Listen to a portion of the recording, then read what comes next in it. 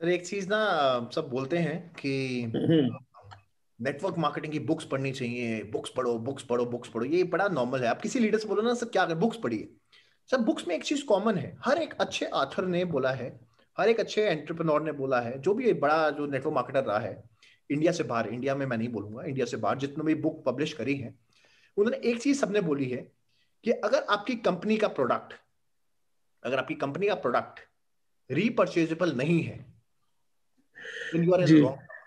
आप एक गलत कंपनी में अगर आपकी प्रोडक्ट का अभी कंपनी का प्रोडक्ट रीपरचेज नहीं होता है तो आप गलत कंपनी में है। एट द सेम टाइम अगर आपकी कंपनी में ड्रॉप ऑफ़ रेशियो बहुत ज़्यादा है यानी अगर दस लोग जुड़ रहे हैं और आठ लोग छोड़ रहे हैं अगर ड्रॉप ऑफ़ रेशियो बहुत ज़्यादा है तब भी आप एक गलत कंपनी में है।